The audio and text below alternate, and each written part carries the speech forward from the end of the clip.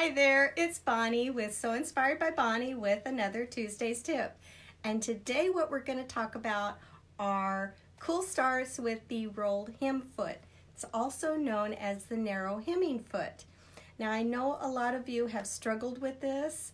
I know I struggled with this years ago when I first started playing around with it. but once you know a couple of tricks, it's not so bad. I will say it's not the easiest foot to master, but it's doable and you can master it. So I'm going to go over here, refresh my uh, Facebook page and make sure that everybody's able to hear me and see me and that sort of thing. So if you don't mind, go ahead and give us a shout out. Let us know where you're coming in from, uh, wherever you are in the country or world for that matter.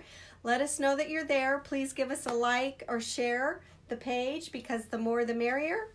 And uh, it's just a lot more fun when you, you have more people that you can share uh, your ideas and thoughts and tips and tricks. So I see Leslie and Joanne and Deanne and well, there's a lot of people showing up. so let's go ahead and get started. Again, we're going to discuss the cool start with the rolled hem foot.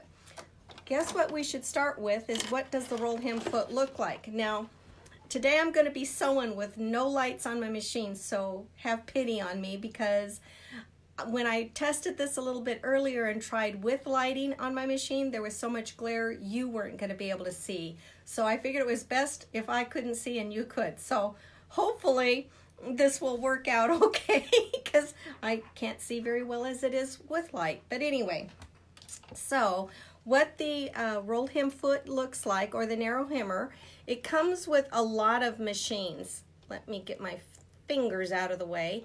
Uh, it comes with a lot of machines standard. Uh, some of the machines it does not come standard, so you might have to uh, buy it aftermarket. Um, not aftermarket, but after you buy your machine. And one of the things it has is it has this little groove. You'll see a little roll there, but before the roll, you'll see this little groove. And I'm working backwards, so it's kind of hard for me to see, but you'll see a little groove in the foot right before it goes to the roll. And you want your raw edge of the fabric to line up with that edge of the groove. Now, there's a couple of different sizes of the rolled hem foot. Uh, I think one is, this one looks to me to be about a 1 8 inch rolled hem. I think they make one about 3 eighths of an inch or so, maybe a quarter inch. Um, but they're not too different. They're still pretty narrow. Um, but that's what a rolled hem foot looks like. I'm going to go ahead and attach this onto the machine and I will rotate you guys so that rotate you guys it sounds like I'm going to be able to actually pick you guys up and move you I'm going to rotate my phone so that you can actually see the bed of the foot and so I'll be out of view here for a while, but you'll be able to see the foot or the, the bed of the machine, and that's the important part. So I'm gonna move this. I'm sorry that I'm swerving you around all over the place. I wanna make sure things don't fall off. And I'm gonna look over here. It looks like you can see the bed of the machine pretty good. And we'll go ahead and get started. So what I have here are um, two pieces of fabric and I do recommend that you test first and play around with this first before you actually try it on a project. Maybe cut yourself a 12 inch square or something of that nature so you have something to start with. I used two samples to play around with. I did one that I did not starch. I did iron it flat, but I did not starch it. And then the other piece of fabric, I did starch it. When I tested it, I seemed to have better luck with the piece of fabric that I starched. But try both ways and see which way works the best for you. Something else that I wanted to mention, I found this little, you know, the type of fabric matters when you're trying to do a rolled hem. A rolled hem is very tight and narrow. So you don't want to have a big bulky fabric that you're trying to put into a teeny tiny rolled hem. It's just not going to work well.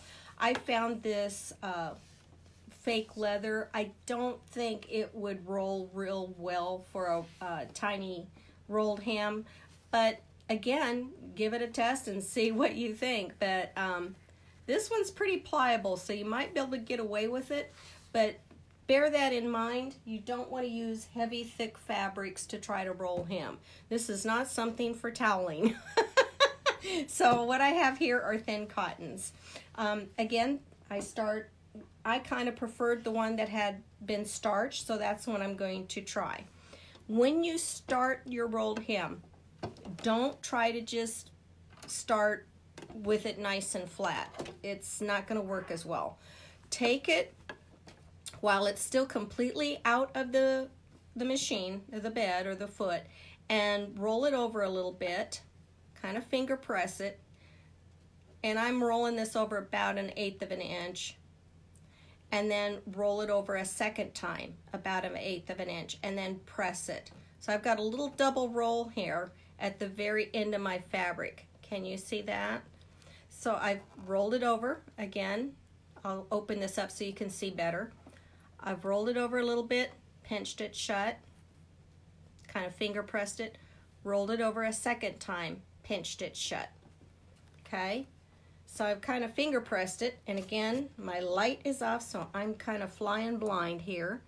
And then the next thing I want to give as a hint is you're gonna be in the center needle position with a straight stitch, and uh, you want to start a little bit away from the very edge. Do not start off your fabric.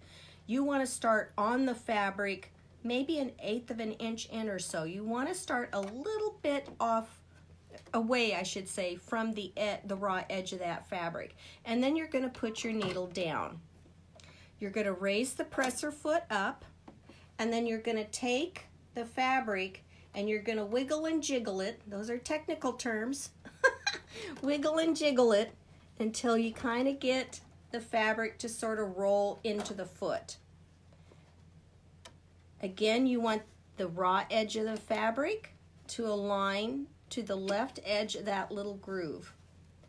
Okay. And you can kind of keep playing with it until you have it in. You've got, you've got it folded over at the very beginning. You've got the needle holding it in place so it's not going to go anywhere. And then you're going to just start sewing. This is not a race. Um, so you're going to just start sewing at a nice, easy pace. And you'll notice I'm not holding the fabric way flat. I'm letting the fabric rise up a little bit and I'm guiding the raw edge to be against the edge of that groove. So I'm holding it up a little bit and just a hair to the left, not much. And I'm using contrasting threads, so it'll definitely show up if I had some issues flying here blind with no light. and again, you're, I'm just gently holding on to this, holding it up just a little bit. I'm not holding it real high or holding it down flat. And hopefully I've got my hands out of the way so that you can see. And then you just let it take it on in. Cut your thread. Raise this up and oh my goodness, look at that. I did pretty darn good for flying blind. So I hope you can see that. It just rolled it in really nice and even. Now, um, I've already had a brain fart. I can't remember if I mentioned this or not. I don't think I did. I recommend that you do the rolled hem on straight edges, not around curves um, or a bias. Trying to do a rolled hem around a circular skirt, this would not be the best method to use for that. That's for another day. But uh, for straight edges, this works fantastic. You see how nice and even that is? Can you see how you don't have a bunch of puckering, you don't have things popping out. Again, I did starch this fabric a little bit. I have I kind of liked having the fabric starched. That seemed to work best for me. So I'm going to come back over here where you can see me.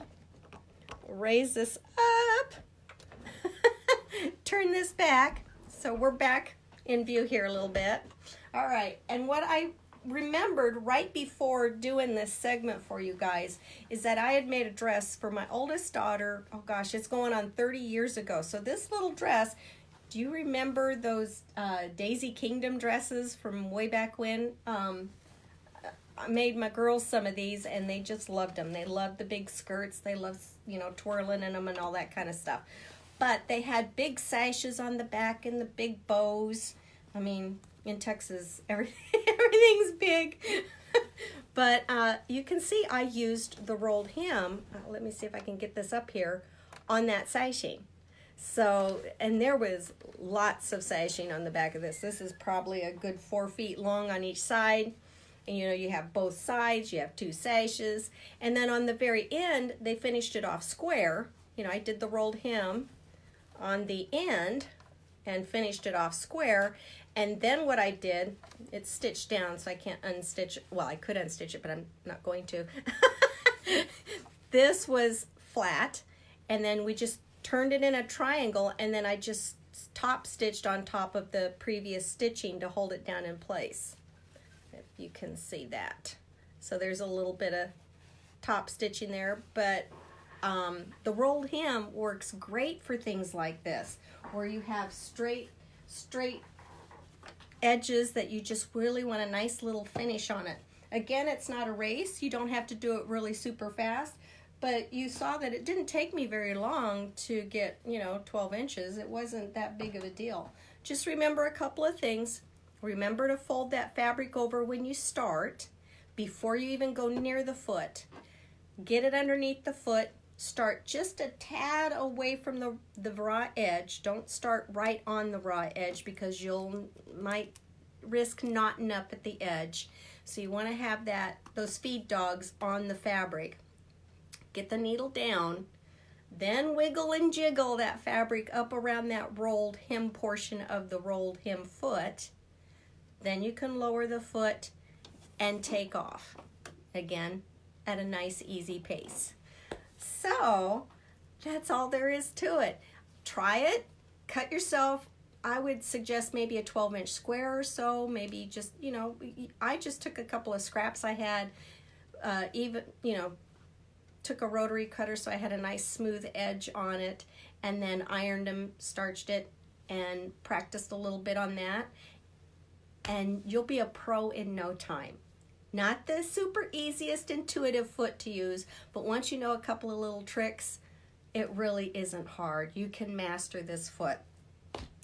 Okay, I'm to look at my little cheat sheet to make sure I didn't miss anything. I'm to go over here, move the machine out of the way, and bring my computer on over. And we're to see if we have any questions. Now again, sometimes these questions on Facebook, they roll away before I have a chance to actually see the question. But rest assured, I will get them answered as, as quickly and as uh, as I can. So let's go ahead and take a look here and see what we have. And so she hasn't used that foot in years. Well, I think we don't do as much um, garment sewing as we used to do.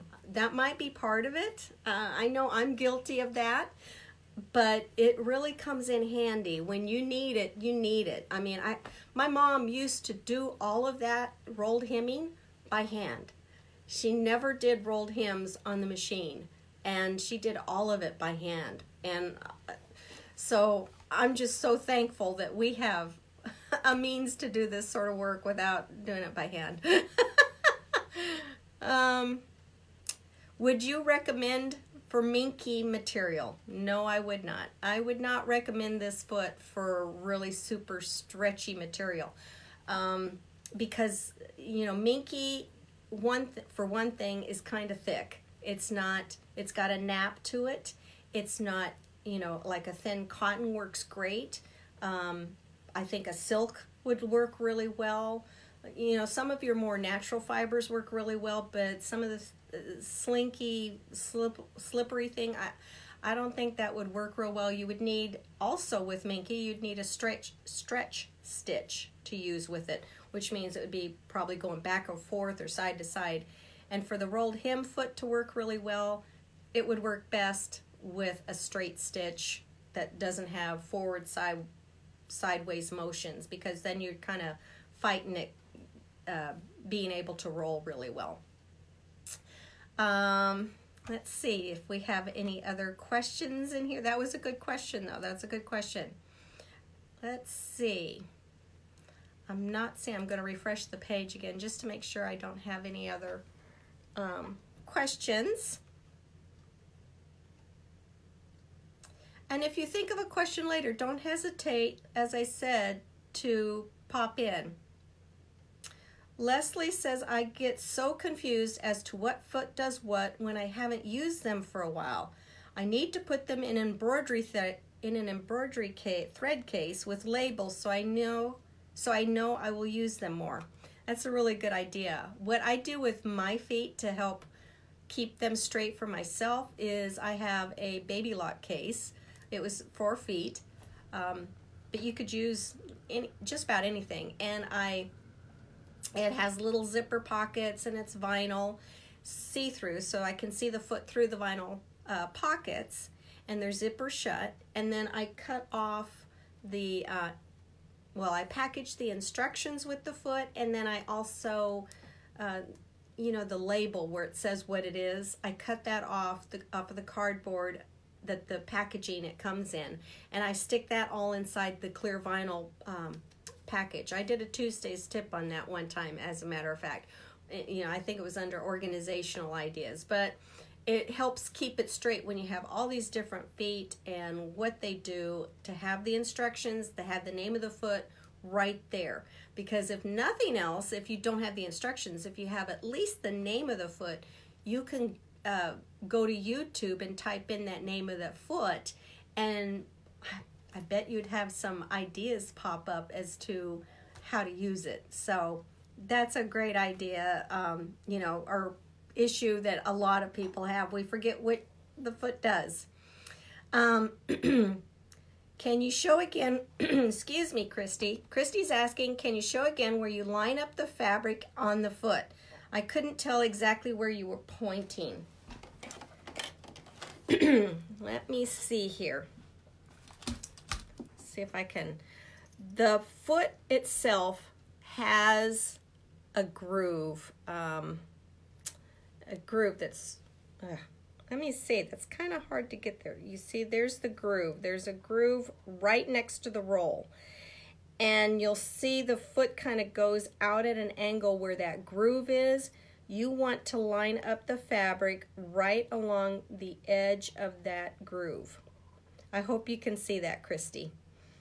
So you'll just, when it's facing, when the foot is facing you, the raw edge of the fabric will be lined up to the left edge, which is right here, the left edge of the groove.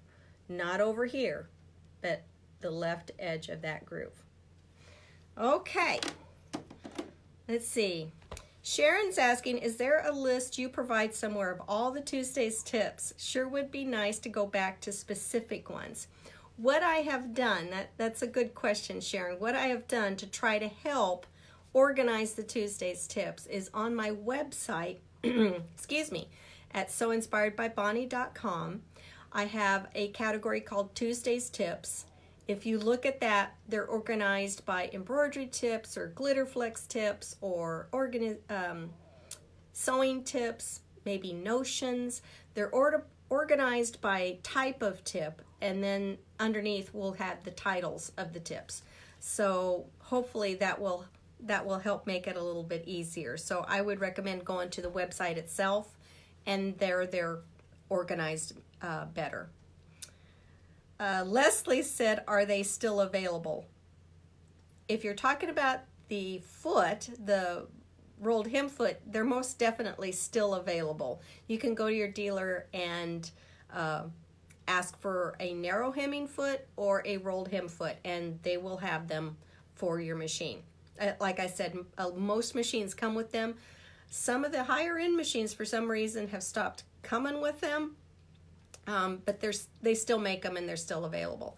If you're asking about the Tuesdays tips, those are most definitely still available too. We have them all. I have them all on my uh, website. I have them on YouTube as well as Pinterest, and uh, they the replay is always available on Facebook as well. Um, let's see. Leslie said zip bag for the feet. I love the little zip bags for the feet. Christy said it's not related to today's subject, but what is hanging on the front of your upper cabinets? That's a good question. The ones above your iron. Oh, those little hoops. those are just hoops of fabric, just for. They just. Uh, I liked.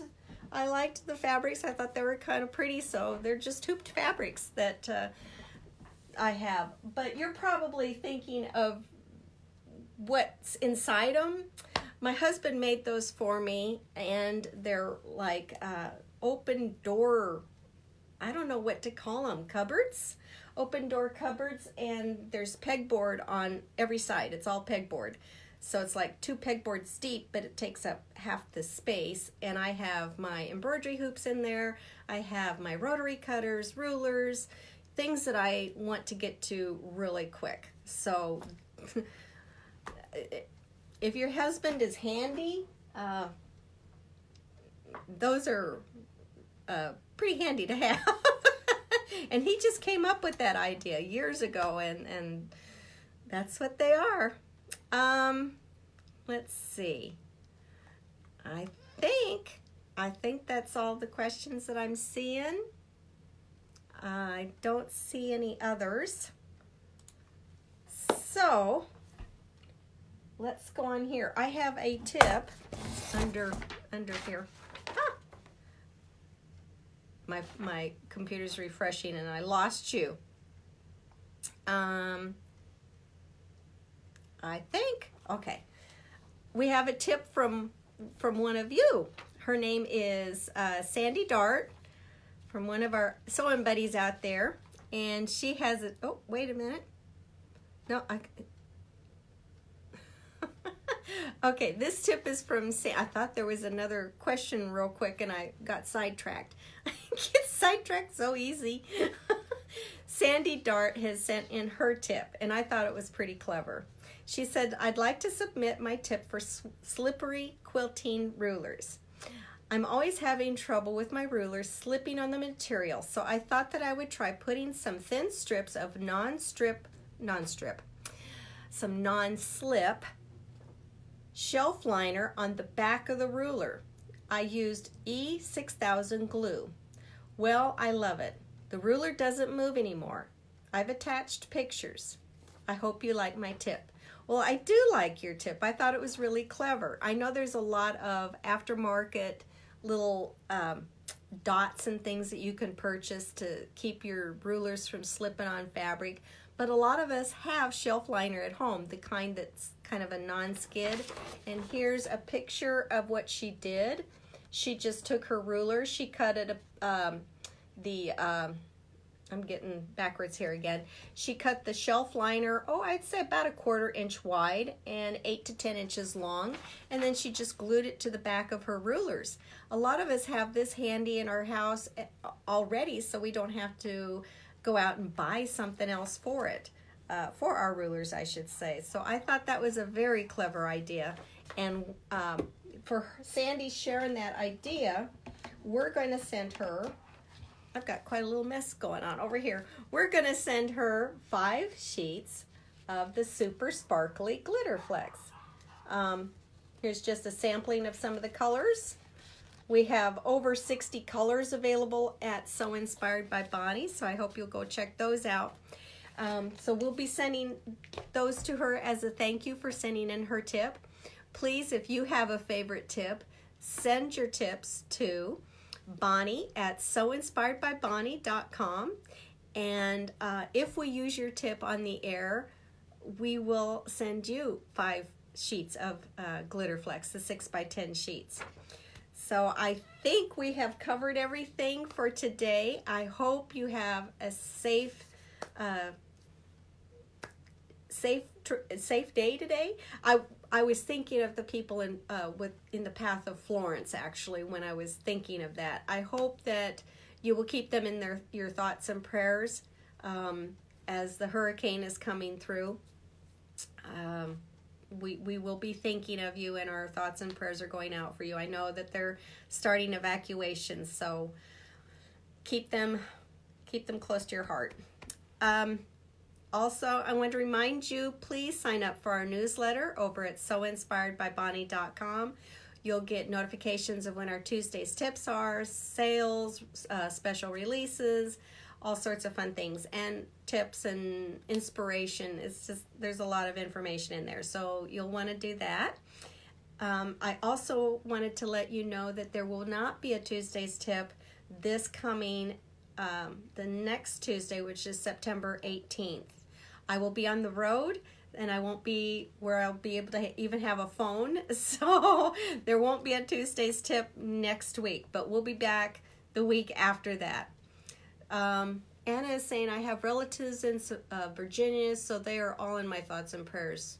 This one could be bad. I, Anna, I agree. I'm I'm pretty concerned about it myself. Uh, having had a dog, have I have a daughter on a coast for, fortunately, she's not in this one's path, but she's been in Harvey's path and all, you know, enough. So I, I really, my heart goes out to them because I know uh, the devastation these hurricanes can cause.